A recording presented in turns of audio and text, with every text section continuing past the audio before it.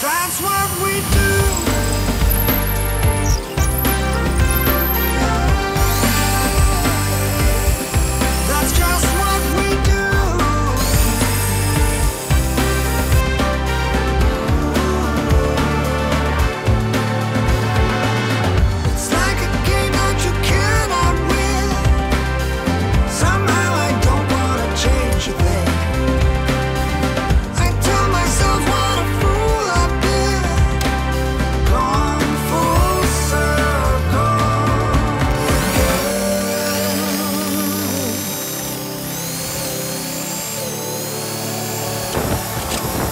we